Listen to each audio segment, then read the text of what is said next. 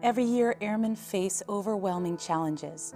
Fortunately, our airmen are resilient and help is available. Last year, 37,000 airmen had the courage to get help for themselves and others when they needed it. Because I had the courage. Because I had the courage. Because I had the courage to get help, I was able to help others. Because I had the courage to get help, I was the first in my family to get a college degree. Because I had the courage to get help, I married the love of my life. And I got to meet the second love of my life. Because I had the courage to get help, I was able to see my son grow up. And because I had the courage to get help, another airman had the courage to get help. Care, connect, cope.